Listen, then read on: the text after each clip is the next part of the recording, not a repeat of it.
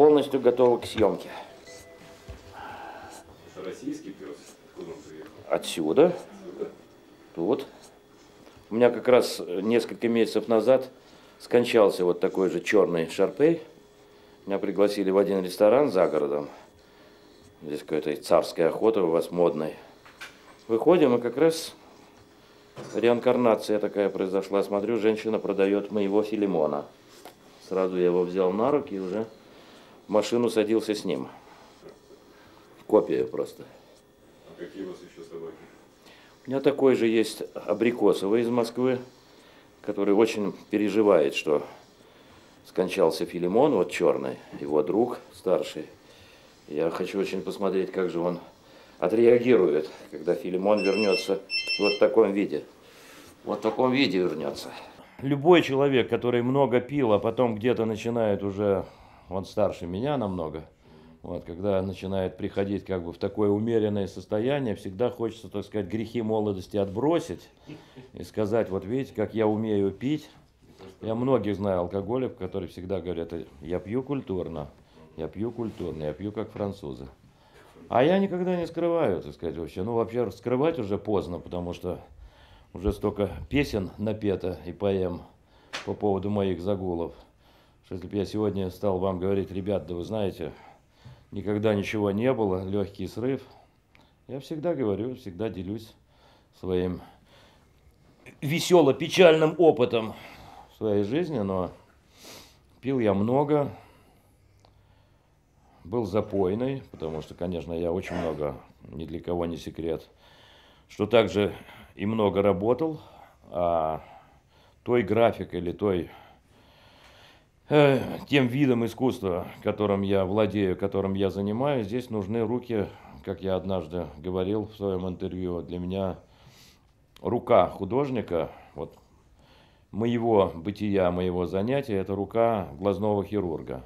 Сбился, глаза нет. Я сбиваюсь, допустим, в линейных своих сложнейших конструкциях, я порчу работу, над которой я работал 6 месяцев. Поэтому если я пил, я пил. Если я уже начинал работать, здесь даже полбутылки пива в рот не засасывалось. Самодисциплина такая, Да. да? Так что Бахусу было послужено немало, а потом были, конечно, проблемы. Я зашивался э, ну, 9 раз, может быть, больше.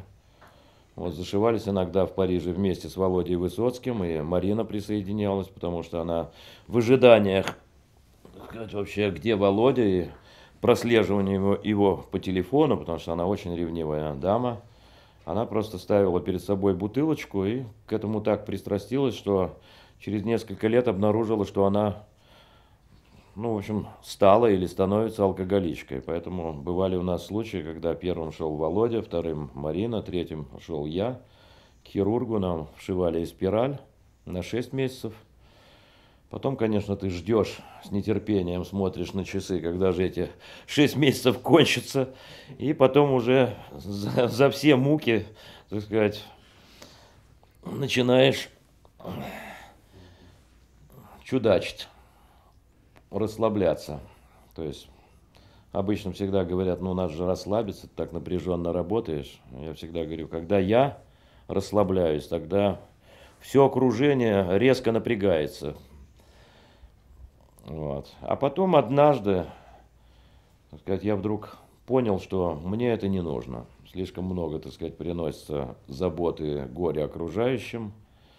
Слишком много потом приходится раскаиваться. И слишком много ты грешишь перед искусством. Поэтому без всяких врачей я себе просто сказал нет. И у меня, конечно, поводов э, для того, чтобы сорваться, очень много. То есть выставки, вернисажи, банкеты, часто банкеты в твою честь, естественно. После вернисажей все пытаются тебя поздравить, выпить с тобой бокал шампанского или вина, но я просто говорю, что, ребята, меня не удивишь этим, столько, сколько я выпил, вам, наверное, за десятилетие не догнать.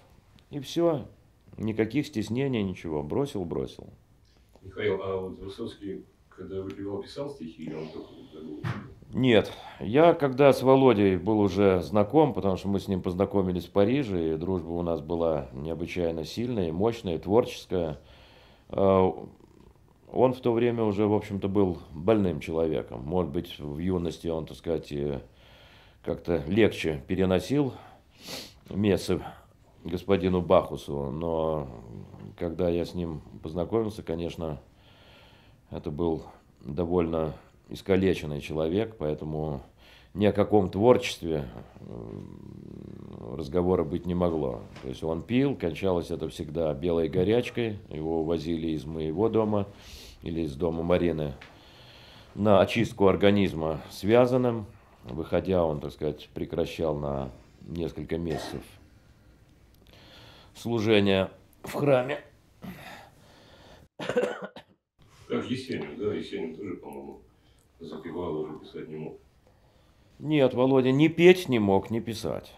Вот. Так что это просто, ну, просто поскольку Марина им уже в Париже не могла заниматься, зачастую были съемки, она вызывала меня, и мне приходилось, как говорят у вас в России, пасти его там неделю, потому что были запои такие тяжелые, это было довольно и сложно, и больно, и мучительно наблюдать вот этого для меня, я думаю, не только для меня, гениального вообще, не только певца, но и человека, вот в таком состоянии.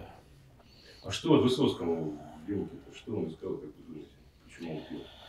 Ну, я написал э, в своем интервью, когда Володя умер, я как раз вспомнил Потому что ну, были такие злобные, нелепые выпады, потому что стали завидовать даже его похоронам. Понимаете? То есть не буду называть имя одного большого писателя и левого, который неплохо писал о Володе, но когда он увидел вот это миллионы людей, которые шли, так сказать, вообще, чтобы проститься со своим национальным героем, он на второй день после похорон написал такую гнусную статью, что я просто к нему пришел и сказал, ну что с тобой происходит, как можно? Вообще. Слишком его шокировали похороны. Он где-то, наверное, понял, что вот он так похоронен не будет. Вот. Ну, я его знал, вот, поскольку у нас как бы мы бережно относились друг к другу и старались ну, как бы спасти друг друга от зеленого змея. И это были самые счастливые наши времена. Ну, как я спасал? Когда он был в запое, мне нужно было его оберегать, поскольку ни для кого не секрет, что последние годы он еще и кололся. Это в основном то, что его окончательно погубило. Вот. И он в пьяном состоянии пытался найти там в Париже или в Марселе вот эти злачные места, где продаются наркотики, и это было опасно просто для жизни, потому что однажды его зверски избили в Марселе, потому что думали, что, может быть, мало ли, это шпик, который, так сказать, хочет расколоть торговцев была очень неприятная и страшная такая довольно кровавая история. А в Париже, конечно, мне пришлось, приходилось его просто пасти, пасти, отговаривать не зайти вот в этот сомнительный бар, в другой, в третьем. Михаил, вот. пил весело или, или как, как? Нет, не весело вообще пелось. То есть первые, допустим, где-то полчаса, час, это было весело. А потом это просто-напросто организм настолько уже был подорван алкоголем, что это это был больной, несчастный человек. Прорваться вот к его сознанию как бы мог я один. Потому что иногда он просто там бился головой о стенку, ему было очень плохо. И, ну, и, конечно...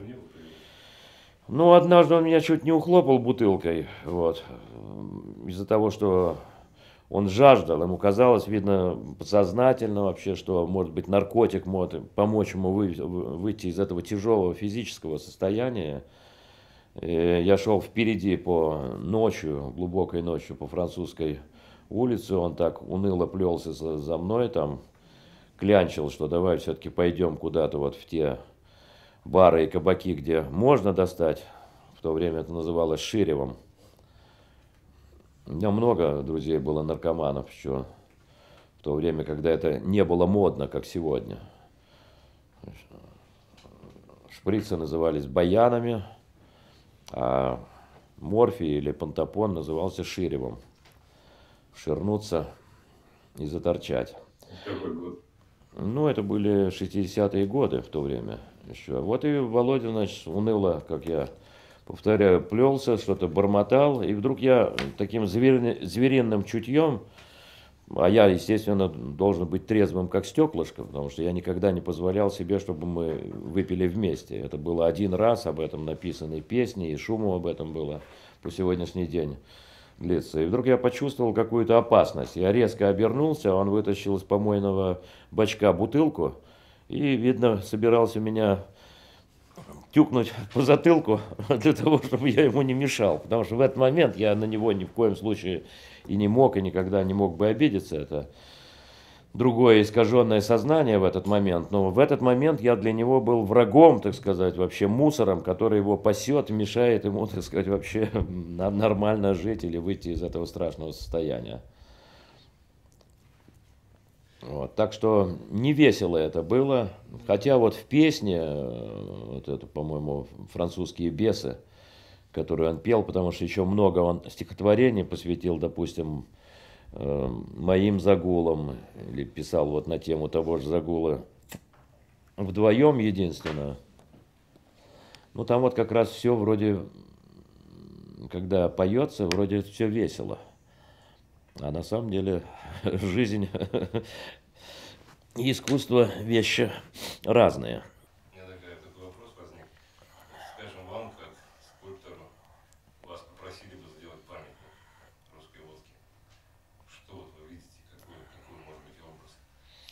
Вы знаете,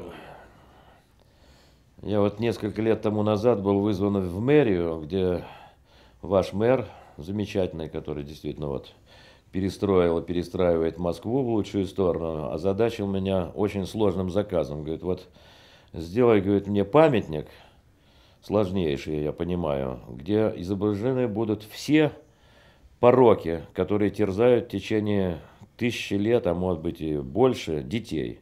Это, говорит, перечисляет мне по пальцам пьянство, наркомания, э, разврат, проституция, садизм, убийство, война. В общем, одним словом, насчиталось 12 сложных пороков. Я так озадаченно чуть не сел посреди его кабинета, потому что я знаю, что здесь народ привык к таким, ну, реалистическим изображениям, все понятно, а-ля ура, квасной патриотизм в течение 70 лет. И думаю, а как же мне изобразить вообще пьянство, проституцию вообще, что там, Свидвигайлова с девочкой на коленях вообще, какие-то неприличные движения – я вышел очень озадаченным, потом я несколько месяцев размышлял, и по, под конец, так сказать, пришел к идее, что это можно сделать только символически. Поэтому вот у меня пьянство, которое, конечно, терзает детей, и у меня отец был алкоголик. Э, я просто сделал такого русского Бахуса, а такой военный, с громадным брюхом, сидящий на бочке. Ну, традиционное изображение, но он в сапогах гармошкой, в руке держит, значит, бокал, штоп с водкой. Значит, и на голове такой слипшийся от водки, от вина венок. Этакий русский бахус. Вот. И вот сейчас, когда вы мне сказали памятник э, сделать водки или российской водки, вот я также приблизительно озадачен, как тогда в кабинете у Лужкова, потому что это явление настолько, э, без пышных слов, могущественное в России, многогранное, что его рассмотреть вот так и мгновенно сказать, я бы сделал. Может быть, кто-нибудь вот из ваших великих монументалистов сразу бы сказал, конечно, дорогой, завтра, понимаешь, приходи, отолью метров сто. Вот. Бутылку, понимаешь. А бутылки всякие, понимаешь, бесы там, понимаешь, такие вертится. Нет, я так просто ответить не могу. Знаю, что это слишком серьезная задача, и слишком э, и интересная, и больная, и веселая, и трагичная. Потому что русская водка, вернее, ну, пьянство в России это явление национальное. Поэтому вот когда были вот Сейчас вспомнил, о чем мы заговорили, почему-то съехали, как будто уже приняли на грудь другую сторону. Вот, когда разговор шел о том, как я попытался защитить Володю от этих нападок, что он алкоголик, да вообще, что он мог писать и все, я вспомнил и привел как раз очень интересную мысль э, Синявского, замечательного писателя и э, мыслителя, о том, какая разница, допустим, между выпивкой в России и на Западе. Я дословно сейчас не помню, но смысл сводится к тому, что если на Западе пьют зачастую, чаще всего это как бы традиция, особенно у французов, для удовольствия, это своего рода такой гурмандизм, для поднятия тонуса, настроения, вообще поддержания здоровья, то у русского человека это желание выйти в какой-то запредельный мир, оторваться от земного притяжения, от всех забот, хлопов, и, хлопот и унестись куда-то, ну, на тройке в небесные дали. Конечно, так сказать, результаты бывают не всегда возвышенные, но вот эта мысль действительно очень ясная, четкая и многое поясняющая, потому что я знаю, вот когда Володя начинал выпивать, это первые вот эти 10 минут, это действительно было попытка улететь куда-то, оторваться, забот у него и неприятностей, как оторваться вы знаете, хватало. Оторваться от этой земли. Нет, оторваться от э, забота. В основном, так сказать, поскольку он был россиянин и по паспорту, и по пребыванию, то, конечно, Здесь именно забот, по-моему, у всех хватает. От тех великих, которые набивают себе торбу день и ночь деньгами, и от тех, кто их не имеет. Ну, Поэтому... всегда считалось доблестью много пить. Вот вы делали Петра Первого, как раз хотел спросить, Петр же был очень большим специалистом в этом деле. Ну, Петр был... 39 стаканов он выпивал на одном из приемов, я помню. Читал. Ну, Кубок Золотого Орла, который он вот только мог... делали в Питере. Вы как-то образ его формируя, имели в виду, что он был одним из таких главных наших? Ну, в данном образе, который довольно сложный, очень напряженный, там, конечно, законспирировано все, так сказать, и где-то там сзади всепьянейшие соборы, основателем которого он был, и вы знаете, что во время даже сложнейших боев со шведами он умудрялся ночью усталый после боя сидеть и писать о том, кто в каком костюме явится, так сказать, вообще на вот этот безумный пьяный карнавал, чины, распределение и все. То есть для него это было очень важное, очень важное житейское событие, которому он посвящал с усердием, так сказать, многие часы, дни месяца своей жизни. То есть по существу все говорят, вот перформанс, мы отстаем от Запада. А первый вот создатель настоящего хэппенинга и перформанса был вот за окном стоит здесь, любуюсь, да, Петром Алексеевичем. Вот, так что история, конечно, Петра и водки, и Всепьянейшего собора, она грандиозная. И для меня, когда я размышляю об образе вот этого великого человека, ну, в принципе, первого демократа, для которого неважно были происхождение, чины, ценил людей не по одежке, не по званию, так сказать, родовому, а по уму, и который, конечно, умел повеселиться и создать из этого целый вот такой настоящий, ну, такой театр, какой-то средневековой мистерии. Кончались это, как вы знаете, не всегда они удачно, потому что, по-моему, самое большое количество погибших во время одного всепьянейшего собора было 300 человек синюшных, которых нашли спившихся, но тем не менее праздники проходили действительно на самом высоком таком современном уровне, куда там хэппинингом американским или французским или английским. Это все, конечно, мелочь. Наполеон, говорят, перед битвой одеколон пил. А кто его не пил вообще? Кто его не пил?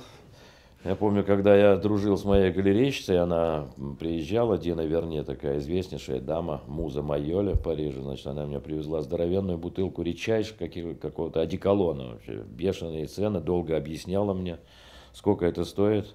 Я в то время работал чернорабочим, прихожу домой, захожу в общественный туалет, поскольку я жил в коммунальной квартире, чувствую что-то неладное. Вместо знакомого родимого запаха французская лавка – Захожу, валяется небезызвестный, тоже большой любитель хэппининга, Костя Кузьминский, замечательный такой поэт российский, который много лет живет в Америке, пьяный в дупель на полу.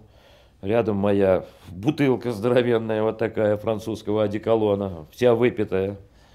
Запах духов, он просто, оказывается, сходил в туалет, помочился. Я его растолкал, говорю, что ж ты, подлец, сделал вообще? Говорю, духи такие, они стоят, там лучше бы их толкнуть и на это ящик водки купить. Я что, духов жалко? Все, так что духи мы все. Я грешным делом, когда не хватало тоже тройной одеколон пригублял. А вот интересная тема, водка и война. Вот эти 100 грамм наркомовские. Недавно я прочитал там один материал, что в принципе завозили же на фронт эшелонами водку. Да. То есть могли вместо водки завести там огромное количество боеприпасов, медикаментов, вооружения. Но завозили в том числе и водку. да. Вот как вот эту тему вот развить, как на это смотрите? Ну, вы знаете, я не хочу, так сказать, э, оскорблять память, которая для меня священна российских солдат, героев, как говорят, пьяному море по колено. Я к этому так не отношусь. Я думаю, что вот эти условия нечеловеческие, в которых проходила война, Великая Отечественная, морозы, замерзание, так сказать, и все, я думаю, просто маленькие вот эти 100 грамм где-то спасали человека чаще всего от болезни, нежели, так сказать, ну что такое для российского человека 100 грамм. Это же ерунда, на муху наступить. Вот, поэтому я думаю, что это было нужно. У меня с этими 100 граммами другие связаны, довольно тяжелые воспоминания, потому что мой отец кабардинец, и по закону, как вы знаете, кабардинцы не пьют алкогольные, не употребляют. И на руках моего отца умер Даватор, э, в дивизии которого он служил, и он его очень и очень любил и уважал, они вместе учились, хотя Даватор был старше. И вот в этот раз, когда убили Даватора, именно после его похорон, мой отец впервые принял свои 100 грамм, которые он всегда отдавал солдатам или офицерам. И именно с этих 100 грамм э, началась вот эта жизнь новорожденного алкоголика, которая от этого и закончилась уже здесь, в Москве, много лет уже после войны, в 1976 году. Вы застали этот период?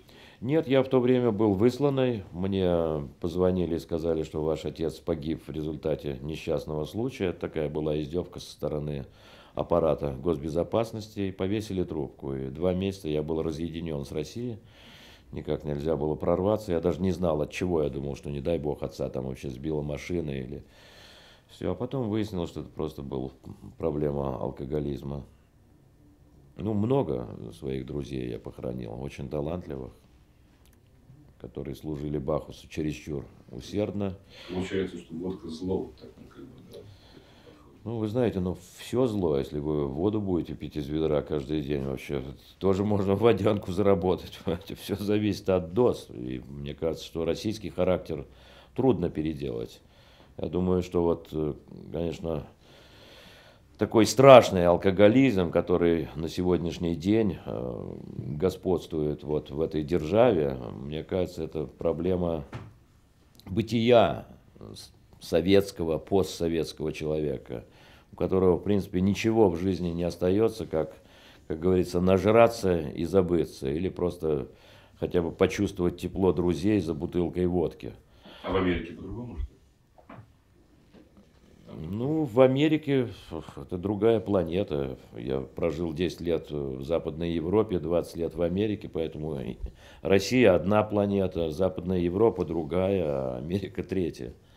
Вот. Но я просто возвращаюсь вот к нашему э, разговору о российском пьянстве, я скажу, что почему я думаю, что это связано с тяжестью бытия, вот с этим совершенно зачастую нечеловеческими условиями, потому что э, я вот прожил действительно 30 лет э, вне России, и я вижу, что ну, нигде такого, скажем, похабного отношения к человеку, нету, я просто не наблюдал. Поэтому что еще этому человеку остается делать? А когда, конечно, условия бытовые начинают улучшаться, как, например, у новых русских, понимаете? И у многих, так сказать, действительно русских. Я со многими знаком, чрезвычайно богатыми вообще, молодыми ребятами, которые таинственным образом вдруг разбогатели, я вижу, как они бережно начинают относиться к своему здоровью. Знаете, вообще костюм там от Кардана, там все эти BMW, БНТ, я, так сказать, не специалист по машинам, машины не вожу, вот. Но я вижу, как они перестали пить, как они, так сказать, употребляют лучшие вина, никаких напиваний, никаких, так сказать, вообще никакого риска для своего драгоценного здоровья, потому что... Вы об этом говорите с иронией. Я? В общем, мне эти люди, как вы понимаете, не очень приятны. То есть стереотип у нас все-таки выработался и существует, что русский человек должен, как солдат Соколов, помните, после первой не закусывать. Да. Тогда потрясла, конечно, история. Помните, судьба человека. Конечно, я помню этот фильм. Удивительный был сюжет, конечно. Я думаю, что если, конечно, будет улучшаться жизнь российского человека, все-таки и раньше пили очень много, но не было вот этой гибели людей, буквально геноцида нации, фактически, который происходит сегодня. Все, как говорится, в хорошем смысле устаканится. Да. Интересно. Я вот, как ни странно, э, до монастыря вообще не пил. Ну, каком месте? Псково-Печерского. Я там был послушником, и до, так сказать, монастырской жизни в рот, как говорится, хмельного не брал. А вот там именно, так сказать, вообще в среде монасей, вот, там как раз я приучился очень крепко к зеленому змею. А они почему пьют? Монахи. Ну, почему монахи пьют? Для того, чтобы весело было. Для чего пьют?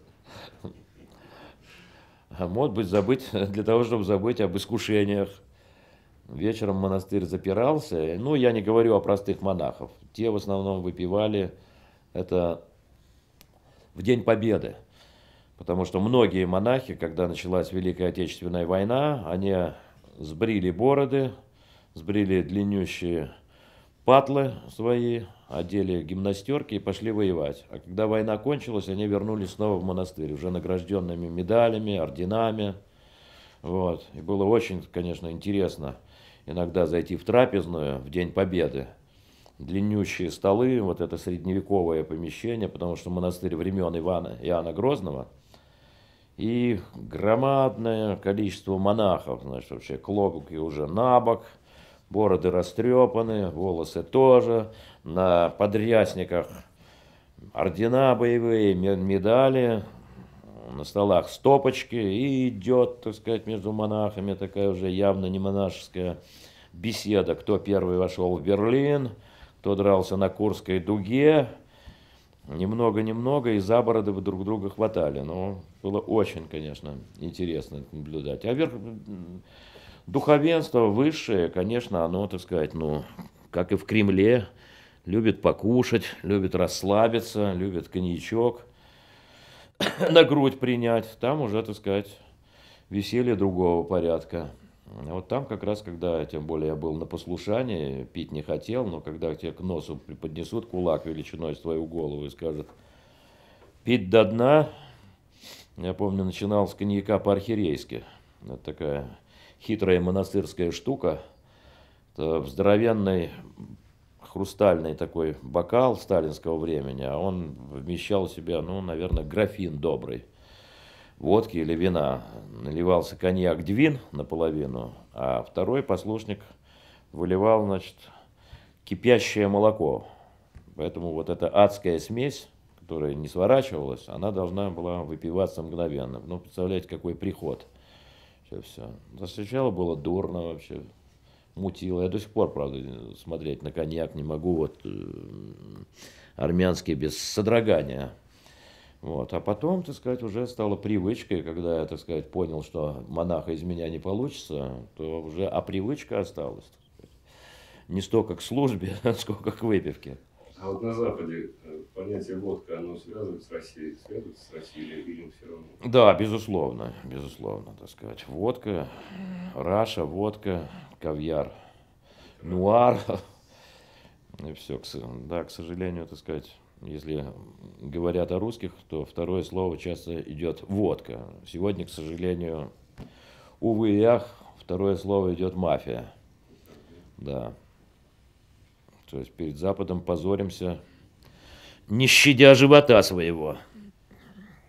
Если раньше у меня много знакомых итальянцев, если кто-то сицилианец, то всегда, так сказать, ну, со смехом добродушным, а, понятно, Аль Капоне, сицилианская мафия. Ну, сицилианец это всегда для итальянцев мафиозник вообще. А сейчас, когда вот уже начинаешь говорить русский или говорят о русских, всегда, а, мафия рюс, и это печально. Если раньше мы, допустим, поставляли, э, так грубо выразиться и цинично из России такие имена, как Солженицын, я не говорю о старой России, это и так всем понятно, какие были великие имена. И по сегодняшний день ну, Солженицын, Ростропович, Буковский, вот, то сегодня там кирпичи, китайцы, там доски, стропила, так сказать, вообще япончики. Так что вот этот момент печальный. Лучше бы водка. А вот вы в Америке с кем-то из русских дружите, да? Или сами по себе? Ну, конечно, есть у меня. Есть, относительно, так сказать, русские. У меня очень много друзей, так сказать, уехавшие по еврейской линии, это мои а друзья. Когда я пил, конечно, были типично российские. Вот. Стала свидетельница. А? Прямо в Америке. Конечно, в Америке. На то, что Западная Америка, да, пьется по-русски все равно. Не, ну там же колоссальное количество российских кабаков. Я сейчас живу уже лет 12, живу в деревне, что тоже помогает прекратить, конечно, природа и как-то вот алкоголь, это вещи довольно несовместимые. Хотя иногда люди любят съездить на пикничок, но когда ты живешь среди природы, когда наблюдаешь каждый день небо, облака, у тебя идеи более как бы возвышенные, так сказать, чем просто взять и среди этой колоссальной природы нажраться, как свинья. Вот. А в то время, конечно, когда я жил там, Golden Palace, и различные, так сказать, все эти начинающиеся русская империя сегодня очень обширная, очень солидная, империя русских кабаков. Мы еще выплясывали на земляном полу, я помню, был такой кабак Golden Palace. Там пело пять евреев, которые почему-то себя назвали «Пять русских», ансамбль «Пятеро русских». Смешные ребята мои друзья. Когда я заходил с Женей Исауленко, моим покойным другом, который вот похоронен там именно из-за служения зеленому змею, замечательный художник, друг, с которым мы дружили 30 с лишним лет, на моих глазах просто спился и помер от цирроза печени. Вот, всегда прерывались заказанные песни, там, моей Манечки, моей Любочки, и неслась песня моя любимая Высоцкая «Корабли постоят». И торжественно объявляла, что наш кабак посетили такие знаменитости. Ну и знаменитости начинали раскручиваться знаменито на полную катушку. То есть ваша как бы рекомендация не пить вообще? Но если ты чувствуешь, что ты умеешь пить, пей, так сказать, вообще все. Если ты чувствуешь, что для тебя зеленый змей дороже, так сказать, твоих близких, твоей карьеры, твоей работы, прежде всего, твоего творчества, ну, тогда, так сказать, это печально. Ну, То есть это как судьба. Так просто, наверное, одним словом не скажешь, как себя не, ну, знаете, эта проблема еще будет длиться долго и долго, и сколько пословиц, и поговорок, и зарекалась свинья. Чего-то не есть. Я просто э, вот своей жизни очень много, я и моя сестра, и моя семья очень много, конечно, перенесли тяжелейших, страшных моментов э, в связи с алкоголизмом моего отца который был замечательный человек, необычайно смелый э, воин, но который вот страдал пристрастием к зеленому змею до конца своих дней. И, конечно, то, что он не желая сам того по пьянке вытворял своими близкими, это было, конечно, ужасно. Нет, нет, такой, нет ответа на вопрос, как я понимаю, да? Как относиться и как... Но опять же, я говорю, что у отца моего была очень и очень тяжелая жизнь. Он потерял Э, в революцию своих близких, отца и мать. С 9 лет он сел на коня. У меня есть документация красноармеец Михаил Петрович Шемякин, возраст 9 лет. В 13 лет он командовал взводом. В то время еще маршал Жуков, будущий, был комбригом.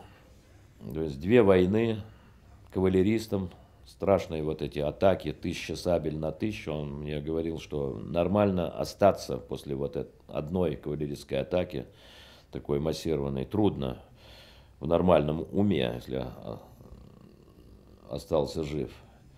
Тяжелые ранения 12, поэтому он пил тоже из-за того, что жизнь была очень и очень тяжелая и страшная. И мне кажется, что все-таки если жизнь где-то будет, ну, походить на человеческую, то и с алкоголизмом вот таким страшным, истребляющим на сегодняшний день нацию, вопрос будет где-то решаться в положительную сторону, в лучшую.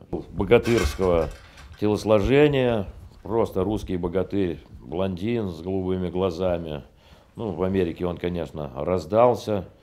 И он на своем животе просто буквально через где-то там час засыпал, голова падала, бум, и до утра, так сказать, полная отключка. А есть э, заводные, вот у меня прозвище в кабаках было неугомонный. Я не давал, так сказать, ни себе покоя, ни музыкантам. Революционные песни, патриотизма мало, хором по долинам и по взгорьям, так сказать, перепевался весь редчайший, там, давно забытый советский репертуар. Все, так сказать, было вообще. Ну, я очень люблю и по сегодняшний день вообще, я считаю, гениальная певица. Клавдия Шульженко, которая отразила просто целые пласты такой, такие интереснейшие вот, российской эпохи определенный Утесов, Марк Бернес, Трошин. Поэтому все это нужно было перепеть, всплакнуть, посмеяться. А те люди, которые ведут себя спокойно, конечно, может только позавидовать. Напился, так сказать, добрался до кровати, носом уткнулся. Все чудно. Все зависит еще от того, что человек пьющий должен, ну, если один раз сорвался, два раза сорвался, проанализировать, что ты делаешь какие у тебя дозы, где явно вот эта лишняя стопочка, которая тебя может не свалить с ног, функционировать ты будешь, а сознание уже, как говорится, нормального человека уснуло. Вот если человек, так сказать, будет внимательно думать, хотя именно вот эта последняя стопочка или та, которая тебя перебрасывает уже в иное измерение, она самая сложная по вычислению, где она, у нас ведь если открывают бутылку, уже не закрывают ее. Традиция. Это верно, да.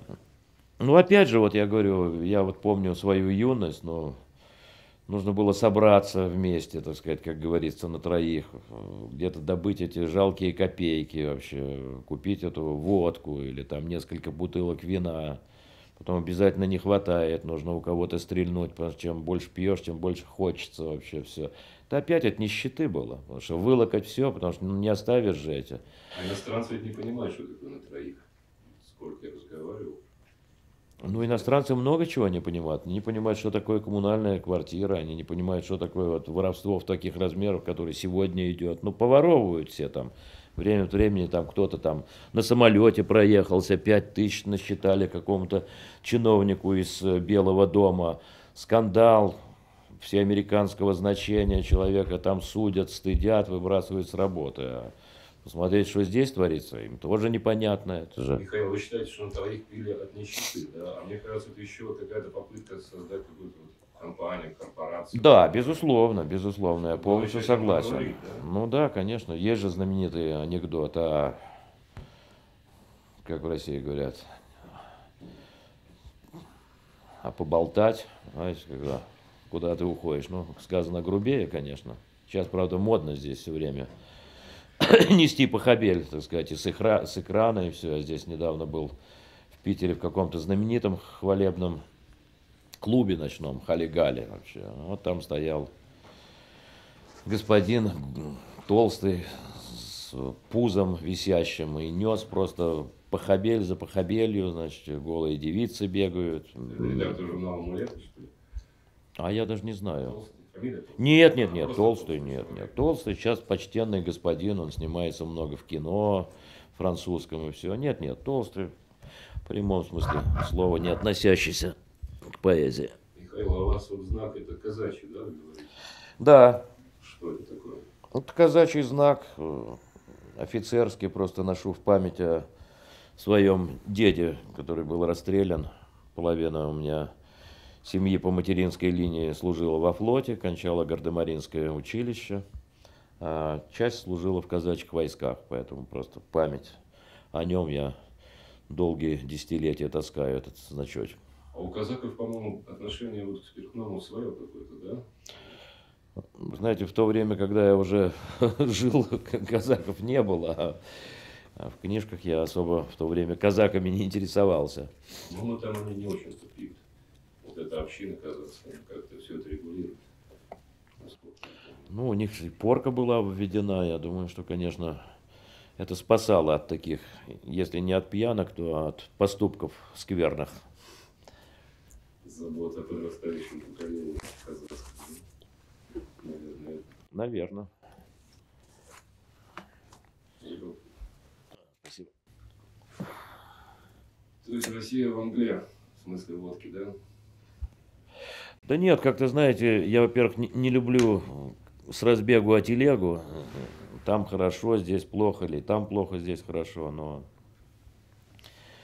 то, что проблема очень страшная, очень актуальная, истребляющая нацию, это, так сказать, ежу ясно. Ну, когда мы из-за бугра начинаем что-то говорить, обычно люди начинают злиться и говорить, сиди за бугром и не гавкай. Поэтому никаких таких, знаете, резких телодвижений в словах я стараюсь не делать. А ваш любимый тост какой был, если вспоминать прошлое? Ой, даже вспомнить не могу, потому что их было столько, и, и, знаете, смена была из-за настроения. На пасашок. Да. На пасашок. Говорят, что это когда ходили странники по селам, их кормили, поили, а потом, когда они уходили, вот на посох ставили рюмку. Если она не упадет, значит дорога будет счастливая, удача будет сопутствовать. Если упала с посоха, значит лучше не ходить сегодня. То есть пасашок. Да. Остаться и продолжать застолье. Хорошая традиция. Ну что, все тогда, да? Или еще что-нибудь? Нет, ну, так сказать, как говорится, спрашивай, отвечаем. Да. Если, так сказать, считаете, что все, давайте все. Мне хочется спросить я просто о вашем здоровье, Не-не, все нормально, так сказать, нет. Никаких А проблем. Вот возвращаясь к Есенину, к Есенину, говорю, к Высоцкому. Если бы Высоцкий не пил, может быть, он бы не состоялся как поэт. Вот такая странная, интересная мысль. Я думаю, что вся его жизнь, э, несмотря на трагичность, она была настолько органична и как бы, ну, скажем, в небесах уже вычерчена и отточена, как дзен-буддийский круг, что не нам, так сказать, вообще судить, кем бы он был и все. Это уже все было в нем, ну, для меня все гармонично. Вот. Печально. Конечно, мы все должны быть благодарны Марине Владе, потому что если бы не она, которая 7 лет его посла, очень серьезно мучилась, вот как я говорил, что сама превратилась на определенное время в алкоголичку, и все. Конечно, Володя бы ушел от нас раньше. И если бы не один из его дружков, которого он проклинал, псевдо дружков, который посадил его на иглу в театре, может быть, конечно, на, вод, на той же водке он продержался бы еще дольше. Но вот эта адская смесь, наркотики с э, алкоголем, это, Вот конечно, его убило. очень интересная акция. Музыканты, рок-музыканты провели «Водка против наркотиков». Тут как бы два порока. Наркомания вроде как не российская такое, привнесенная. Водка вроде нашей, по попроще, получше? Вот как на это смотреть, как вы считаете? Вы знаете, у меня, как я вот в начале интервью э, говорил, многие мои друзья, художники, поэты были наркоманами еще в то время, когда, так сказать, о наркомании даже вслух, как говорится, не говорили. И сам я прошел принуд лечения в страшных психиатрических лечебницах, где лечили как раз э, наркоманы, и мои друзья сами туда приходили, потому что денег уже на наркотики не хватало, и грозило сумасшествие, потому что вы знаете, если вовремя человек принимает большие дозы, а наркоманы российские, те, которые я знал, они, так сказать, и морфий принимали в чудовищных дозах. У меня был один скульптор, вот ныне покойный Лера Титов. Он такой тощий, французистый такой был молодой человек. И когда он пришел в клинику и сказал, что он наркоман, показал руки, значит, обезображенные, ноги, потому что у них всегда проблемы с венами, уже, помню, всегда с завистью смотрели на мои вены, что они выискивают вену там уже среди ног, лишь бы попасть, все. И он сказал, что он вкалывал 12 кубов себя. Ну, естественно, медсестра расхохоталась и дала ему, так сказать, где-то там кубик или два. И утром он на 6 месяцев уже вышел из строя головушкой. То есть галлюцинации страшные, вообще бреды. Такой же случай был вот в этой же психиатрической больнице со знаменитым армянским хирургом, которому тоже не поверила какая-то молодая медсестра. И он где-то 6 месяцев тоже был вот в полном затмении. Поэтому вот наркоманы такие были. И психология вот, вот наркоманов тех годов была такое пренебрежительное к алкоголю вообще. Вот это, значит, вообще художник пьет, этот поэт пьет, это свинья вообще все. А мы служим Морфею, а это служит Бахусу. То есть как бы боги, так сказать, были в разной весовой категории, понимаете? А потом, когда, так сказать, вообще уже навалилась уже окончательная нищета на Россию, то я вот этих своих друзей уже многих хоронил как настоящих профессиональных спившихся алкоголиков. То есть шприцы баяна были отброшены, денег нет, и, так сказать, пошли уже по обыкновенным спиртным напиткам. Вас Бог миловал, да, в наркоманию? Нет, я никогда, так сказать, вообще, слава богу, этим не увлекался и никогда не влекло вообще к этому. Инстинкт. Может быть, да. Но мне хватало, так сказать, вообще пива, водки. В общем, водку я в чистом виде не употреблял. Я А всегда ерша делал. Это покрепче. а вот существует такое расхожее мнение, что человек творческий, как бы в стакане ищет вот какие-то необычные повороты, сюжеты. Может быть, вы знаете, но каждый творческий человек устроен, э, Как может быть, так сказать. Я, я просто говорю, я- если я пил, мне нужно было, вот и говорю, включать Бернеса, вспоминать Россию. Все-таки у меня же была немного иная сфера бытия. Потому что когда меня арестовали и выслали в 1971 году, э, и я вылетал навсегда из России. То есть у меня не было никогда в мыслях, шальной мысли не приходило, что я когда-нибудь увижу там, своих родителей или увижу своих друзей, увижу свой любимый город Петербург, в котором я вырос как художник, который меня воспитал. И, конечно, когда ты включал, допустим, Вертинского принесла случайная молва, милые забытые слова, летний сад, фонтанка и Нева, конечно, так сказать, вообще, когда ты пьешь и слушаешь это, и тоскуешь о России, поэтому и фон создавался такой чисто русский, алкогольное бытие, оно было вот именно в такой ностальгической сфере. Но вы сильный человек, если вы, как бы, вот имея отца, который пил, да, смогли. Ну, в семье у нас многие пивали, если только рюмку? Что? Когда первую рюмку выпили? Во сколько лет? Ну, я ушел э, как бы служить монастырю, это мне было, наверное, лет э, 17. Так что вот там я 17 лет и... как бы- Какой-то повод был или как? Нет, я же сказал, просто садиться, э, тебя сажают за стол, высшее духовенство, и, и нужно и прислуживать, и заодно, так сказать, ну, им, наверное, было весело смотреть, как молодые ребята еле ходят в рясах, пошатываясь вообще. Все. Никаких поводов не было. водкой сдружает людей, с другой стороны. С кем пил, с кем дружишь. Ну, сложно сказать. Вот здесь ничего, ничего сказать не, я не могу. Не слышали такой факт на Бородинском? Перед Бородинским сражением русские ходили к французам, выпивали всю ночь офицеров. Ну, офицера, да. Это я, это я верю. То есть считалось нормальным перед боем там посидеть, выпить, поговорить, а потом разбежаться по позициям. Да. Ну, нравы были другие. Было понятие о чести.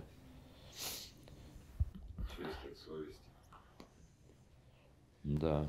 А русская водка в Америке какая сейчас есть? Или там чисто американская? Ну вот сейчас, э, допустим, у меня была в Лондоне закладка памятника Петру Первому. Вот.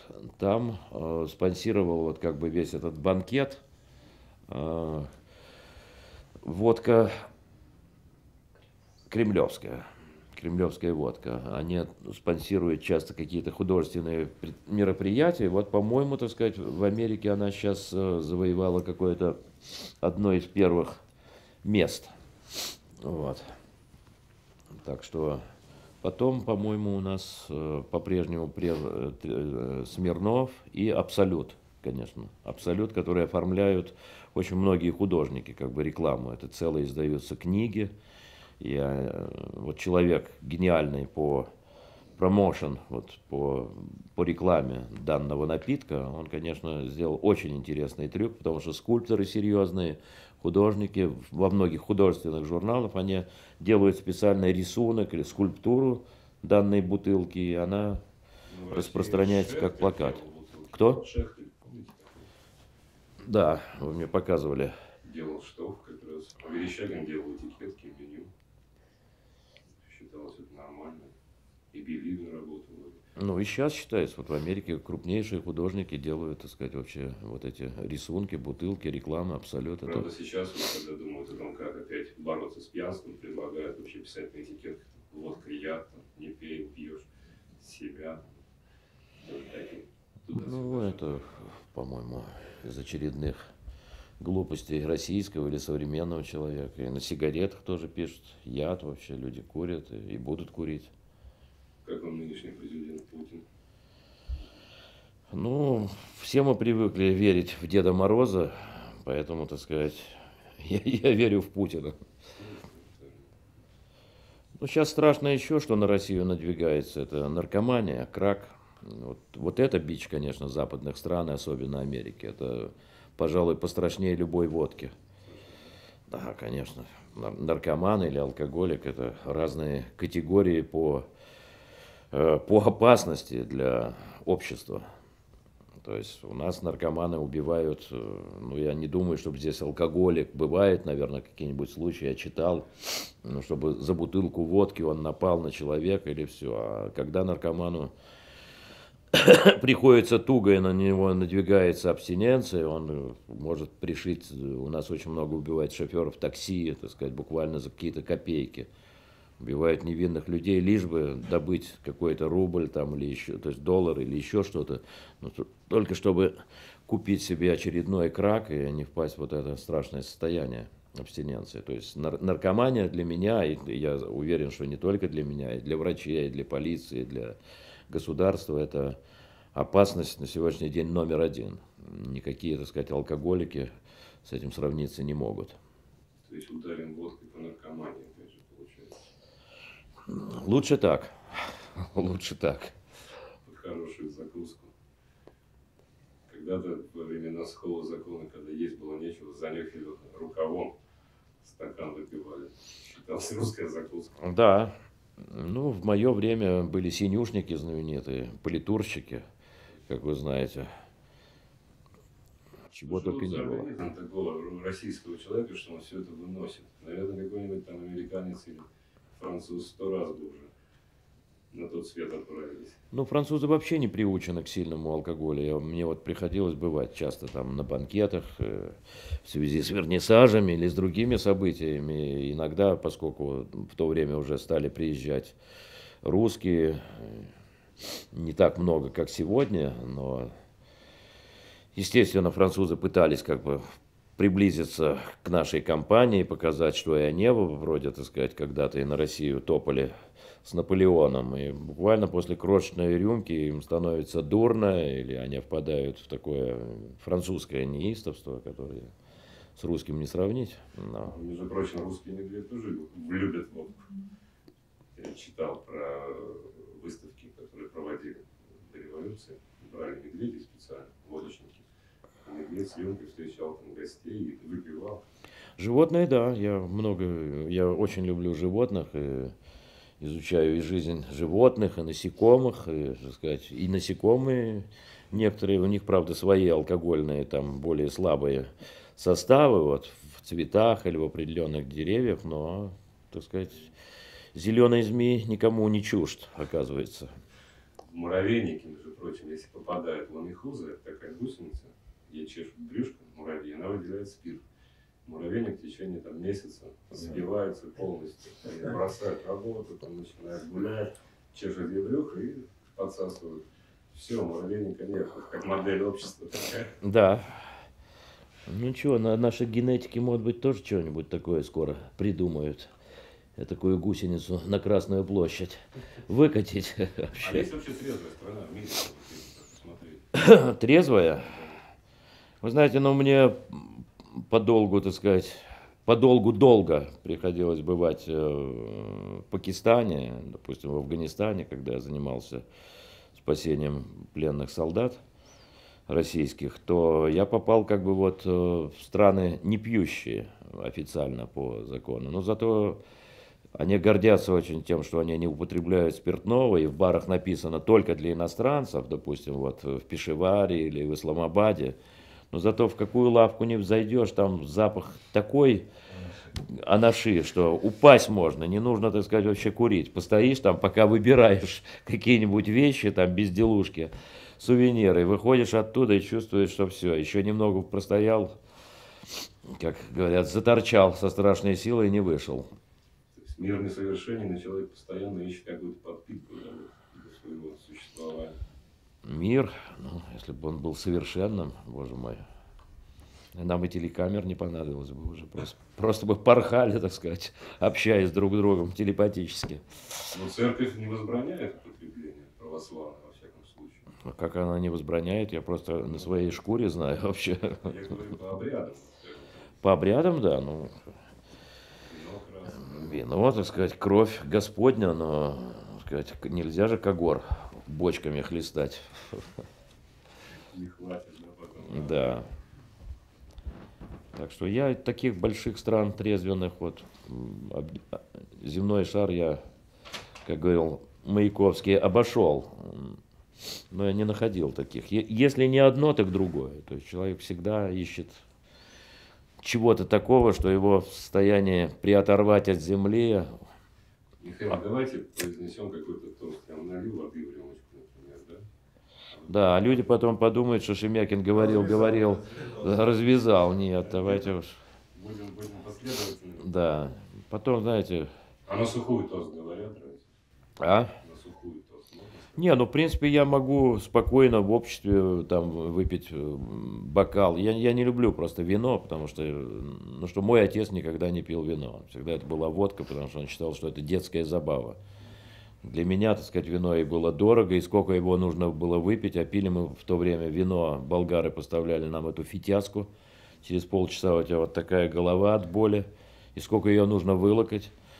Для того, чтобы пить, поэтому я не люблю, но когда я вижу, что общество собралось, и чтобы не отличаться, я могу выпить полстакана вина или стакан, но на меня это, во-первых, не действует, как на почтенного, заслуженного алкоголика, а во-вторых, не доставляет никакого удовольствия.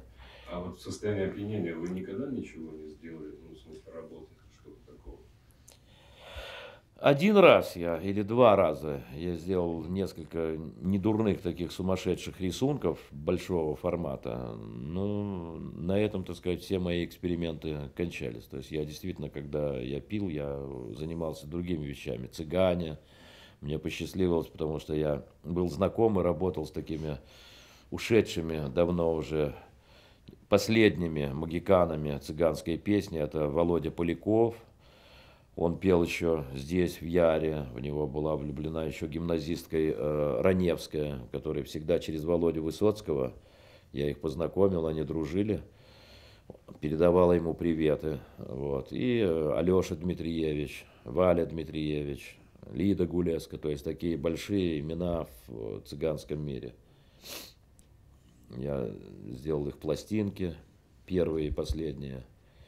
Когда я приехал, вдруг узнал, что столько уже, как говорится, людей из разных миров, там белогвардейцы, там русская аристократия, э, ну как бы рыдали под их песни, плакали, переживали, все, но никому в голову не пришло оставить, так сказать, для России их замечательные голоса вот с этими секретами э, истинной цыганской песни, потому что, вы понимаете, театр Ромен, хорошо поставленные голоса, это, это не та настоящая цыганская песня, не тот настоящий цыганский роман, и поэтому над каждым диском пришлось работать по два года, потому что с цыганами очень тяжело работать. Вот. Они выпивали в момент какой-то песни, которая особенно им была дорогая и близка. Уже после выпивки, естественно, так сказать, начиналась другая. Приходилось убирать аппаратуру. Уезжали музыканты, которых они вызывали из разных э, стран Европы. Так что работа была мучительная и долгая, но тем не менее вышло два замечательных диска, которые получили самую высокую оценку. Ну, например, э, предисловие к диску Володя Полякова написал ну, такой супер сноб, э, который не может действительно о кабацкой песне что-нибудь писать вообще, если это не настоящий уровень, уровень искусства, э, Слава Ростропович который обожал вот его тоже слушать и все. Ну, Алеша Дмитриевич, знакомое, наверное, вам имя тоже, вот его тоже большой диск я выпустил. Цыгане ушли в миры иные, а вот их диски остались. Ростропович как относится к водке? Вы знаете, Ростропович все умеет делать. Да, он умеет и дружить с политиками всего мира, и всем улыбаться, и всех целовать. Даже в Америке был такой анекдот, потому что американцы, в принципе, где-то быстро его раскусили. Вот, потому что была такая шутка, в какую щеку вас сегодня поцеловал Ростропович. Знаете, его традиционно выпятить губы вперед. И, так сказать, облизать всех. И пить он тоже умеет, потому что он очень такой, как бы, человек, умеющий понимать ситуацию и знающий, что перебор стакана может повредить его карьере. Поэтому дай бог, чтобы каждый умел так пить, как пьет наш знаменитый. Сказали про политиков, я вспомнил про Сталина, который подплавил своих товарищей для того, чтобы как это, что в трезвом уме, то пьяным на языке. Постоянно эти гульбища ночные. Ну, считается, что Петр Первый тоже где-то Всепьянейший собор использовал для этого зачастую. Хотя я не думаю, что именно вот его любовь к этому театральному действу, которое он отдавался со всей энергией служила только вот для этого. И все-таки над памятником водки будете думать? Интересно. Что придумать? Не, вы давайте, знаете, над чем? Памятник еще можно придумать. А вот вы, если будете думать, кто будет спонсировать отливку, вот это работает еще более тяжелая, по-моему, мне кажется. Будет идея, будем искать спонсирование. Идея будет, а вот то, что спонсоры найдутся – я уже столкнулся здесь с этими проблемами. Сложно в России? М? Сложно в России? Очень сложно. Сложно и безумно, если можно так выразиться. Сейчас Абсурдно. Да, конечно. То есть заказывают вещи, потом, когда ты выполняешь их, работаешь около двух лет, знаешь, что тебе по существу официальный заказ, и тебе не выплачивают ничего, то это фактически это колоссальные удары по, ну, по всему моему хозяйству, которое на сегодняшний день из России просто приведено в нищенское состояние. Ну, ваш коллега не страдает, я смотрю. Ну, коллега, это, так сказать, я рассматриваю это как явление особое, понимаете, особого рода. Ну, рядом же есть и другие скульпторы, которые живут совершенно в других условиях. Все это просто целый коктейль особых обстоятельств, который сплелся, сфокусировался в одном человеке. Если бы... Вообще человек одинокий? Скульптор? Ну, я не только скульптор, я и график, и художник, и театральный постановщик. Так что, если бы мне было одиноко как скульптору, значит, может быть, и одиноко как художнику, но два одиночества в одно, это уже что-то более оптимистичное. Два плюса дают минус, да? Да. Ну что, спасибо. Ну что, не за что.